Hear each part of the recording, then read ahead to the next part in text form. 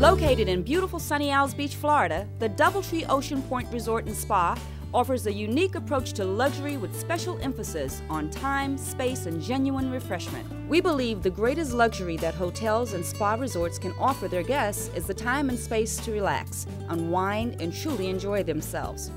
For your pleasure, our hotel is located just steps from the rolling waves of Sunny Isles Beach.